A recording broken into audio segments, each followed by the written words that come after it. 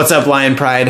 I come to you today with a bit of a heavy heart, and well, a lot of people think of me as a very positive person uh, and a very kind and happy person, but I think I often get misunderstood. And today may be one of those times where you see a different side of me because there's an individual that I feel that I need to make a make a post about and just speak out about who calls himself a mental health advocate. His name is Eric, and he is the owner of Driven Industries. Um, and he was recently exposed for having some pretty inappropriate conversations with children, and some other people have reposted content from his YouTube and Discord server about conversations he's had that are wildly inappropriate with people who are in some very fragile mental health situations, recovering addicts, people who are trying to get better, trying to get help.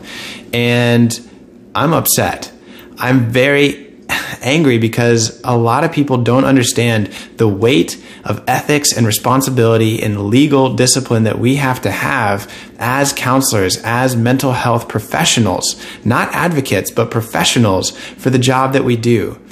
Uh, and we just need to have a conversation about finding and having appropriate people in the places who speak about advice and information regarding mental health. Not just anyone gets the privilege of being on this side of the camera, this side of the therapy couch. And there's a reason for that. When you're dealing with somebody who is in a fragile state, who needs help, there is a responsibility that we have to care for them in a way that's ethically responsible and legally appropriate. And clearly, this individual, Eric, has not done that. And I'll leave it up to you to research that if you're interested and see the things that are done. But we need to have this conversation because a lot of people, even even clients who come into my office, don't understand the amount of information and time that we as therapists have spent, and not to mention those who have gone on to get a PhD in psychology or any other type of mental health field.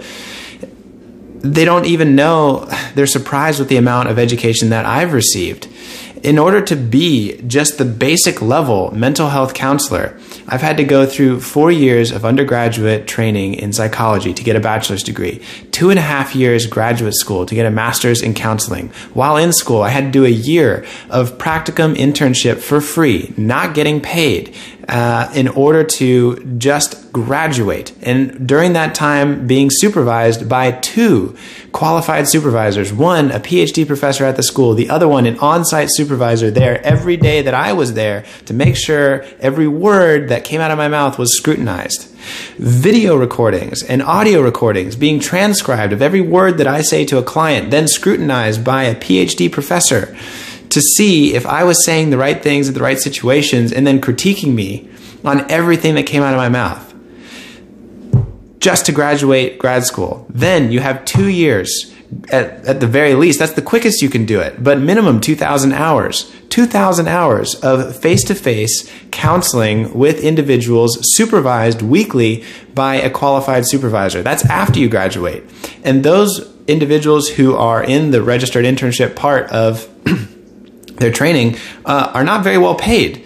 Some do okay, but the, the pay is for having a master's degree is very small, and that's purposely done to make the field intentionally discouraging for those who are in it for the money. The whole field is set up that way because when you're dealing with individuals who need the help, they want people on this side of the therapy couch who are there to help, not to make a profit. And that's what we're seeing with this individual here, not taking the time or the responsibility to care for these individuals, but instead looking out for selfish concerns and desires. So that's two years internship after grad school just to qualify you to sit for the test in order to become a mental health counselor. Then you have to pass the test. Then you finally get the privilege of being your basic level, minimally competent mental health counselor, able to practice on your own and individually.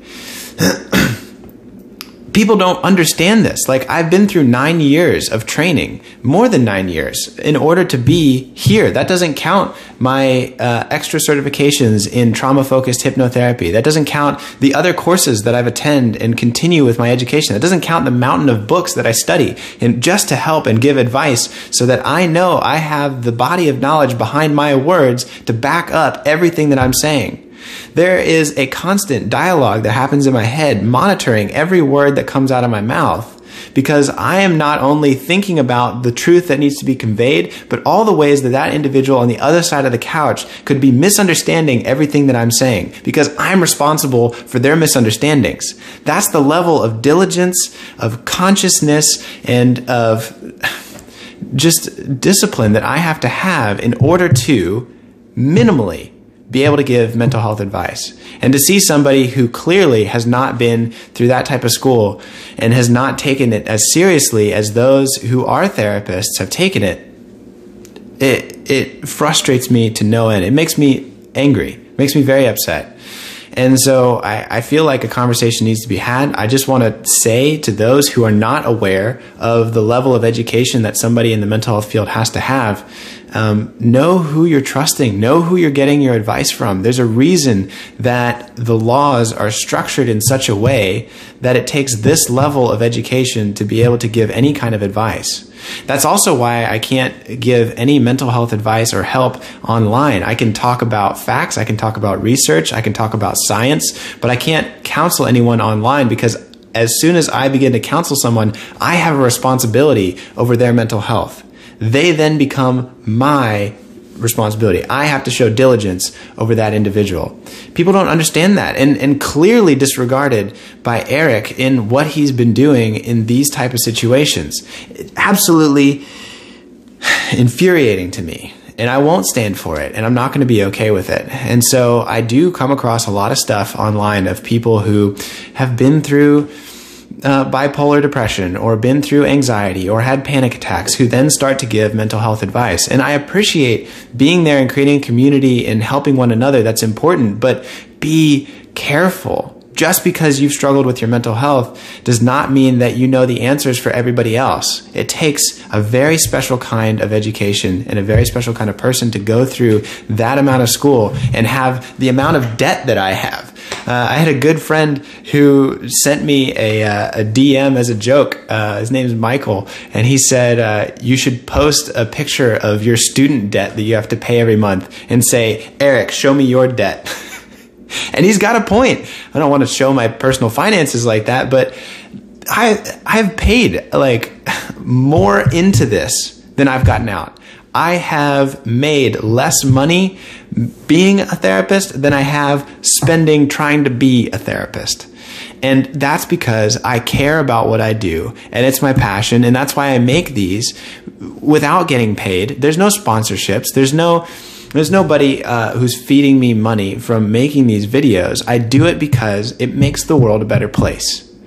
And that's all that I ask. And that's all that I need. If I know that by talking and by researching and by doing my diligence as a human being, that I get to help somebody else and have the possibility of saving a life who's struggling with mental health and maybe make the world a better place, it's worth it. I don't want a dollar. I don't want anything. I just want to make the world a better place. And to see people who use their internet fame, their internet mental health advocate status in order to further themselves makes me want to throw up. It's despicable. And so, well, I got nothing else to say to you. I hope that everyone takes this as a word of caution and thinks about what they're doing and takes a, a moment just to say, hey, just because somebody said it on the internet doesn't mean that it's true.